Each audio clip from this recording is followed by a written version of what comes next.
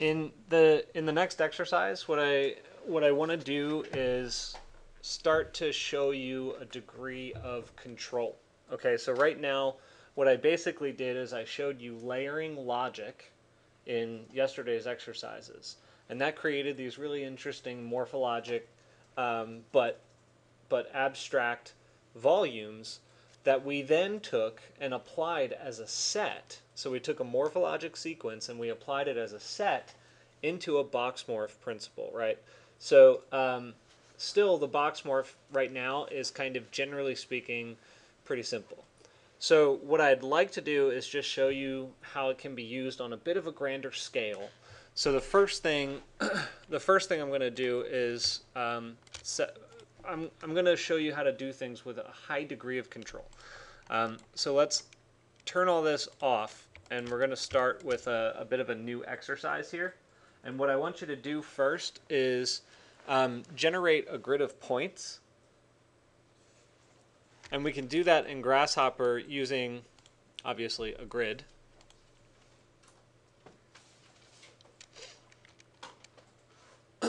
um, yeah, let's let's use a grid. And in this case, I'm going to use a triangular grid just to change it up a little bit. Nothing special.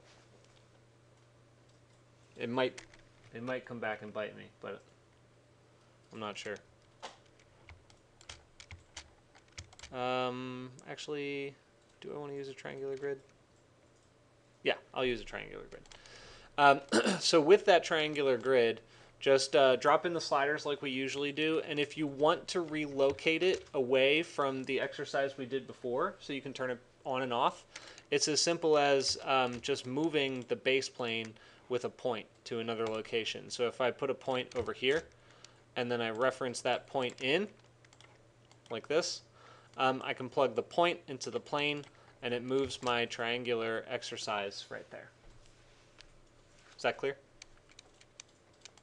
And then my sliders, again, I'll just do 0 to 10 for all of them. So 0 to 10, keep it simple.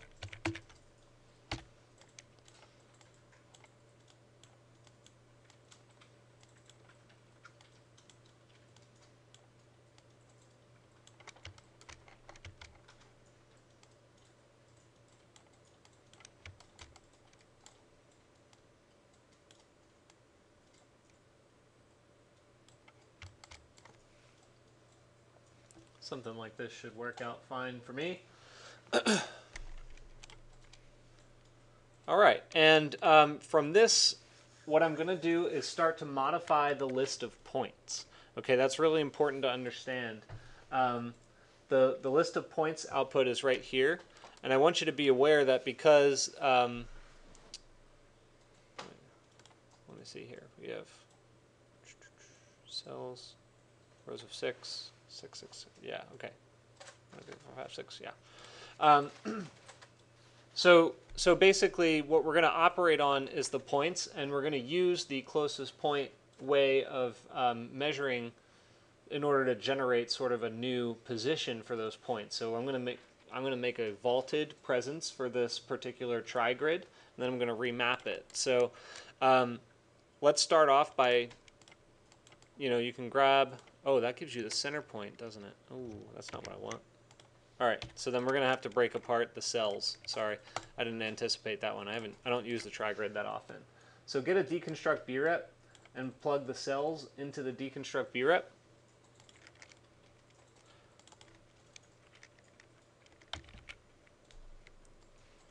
And um, this one right here, it's uh, called cull point or cull duplicates, and it's found under uh, vector and point right there, cull duplicates.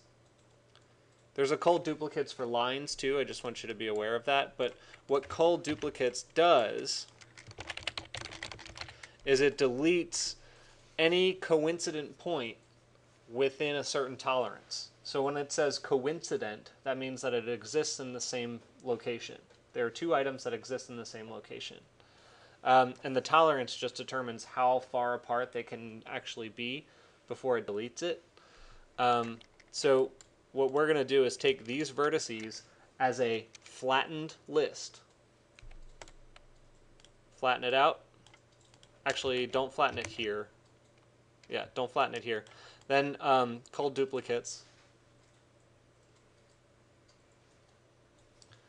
And flatten it on the input. I'm not sure if I'm going to need those points later.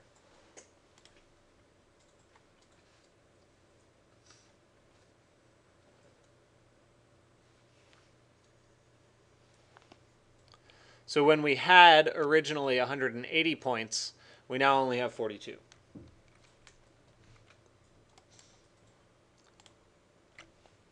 And those points look like, oops, these. Any questions so far? Nothing special, right? All right, let's move forward a little bit. Um, so we're going to take these points and measure their um, position relative to where I put an attractor point. So let me go back into Rhino. And I'm going to put a, an attractor point somewhere in the center, like this. And I'll reference that point into Grasshopper.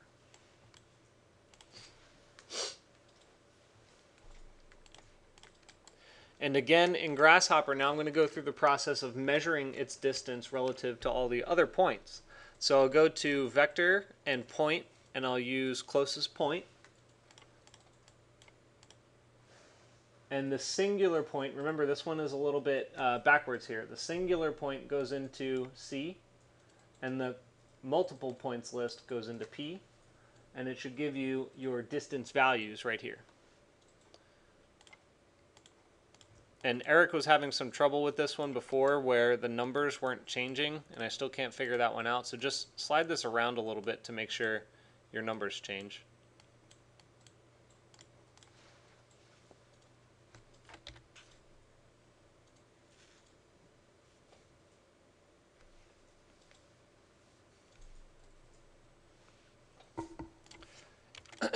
okay, um, so these distance values have to be remapped into a new value, and then we're going to use that to move the points. Okay, so we're, we're sort of just doing the same thing we just did before, but we're doing it slightly differently. So um, the way I'm going to do that here is by going to Math, Domain, Remap Numbers, and the values I'm going to remap are this, the source domain is going to be measured using bounds. And then the target domain is going to be generated using construct domain. And you can set those numbers here with a slider or something else. Um, I'll use something like 25, uh, 25 to 50 think. Or you could even just set it to 0 to 100 or whatever and then just start with 25 to 50.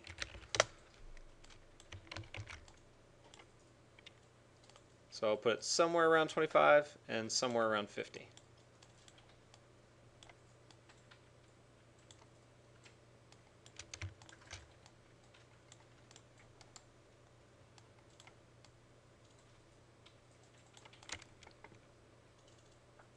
Simple enough so far, right? Nothing new.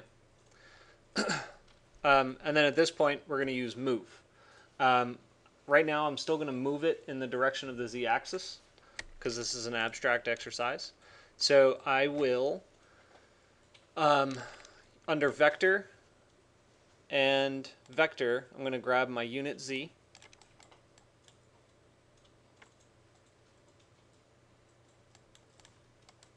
And then I'm going to use transform, Euclidean, and move. So those remapped values are going to be my um, multiplication factor for unit z, which is going to plug into the translation vector of move. And then, of course, the geometry that I'm going to move is going to be the uh, points themselves. And those points are not this point right here. It's going to be, um, I'm going to pull it off of this, but that point right here.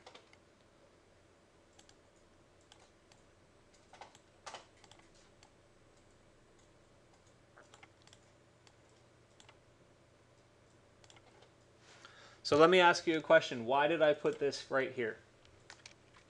Why did I use that? Anybody know? No? So, all right, I'll just jump right into it.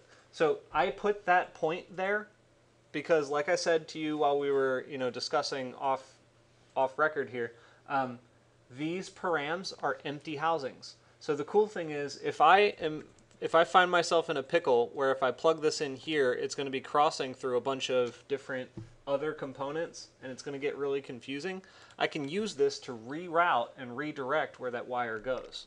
And it's the same information, but I can just plug it in like that and have it look a little cleaner. Just wanted to throw that out there for you guys. Okay, so anyway, um, I've got the geometry moved, and you can see that it's kind of creating this reverse parabolic, um, you know, concave parabolic uh, structure here. Uh, we are going to start working with this in just a moment, but I'm going to stop the video here at this point. Are there any questions? No? Okay.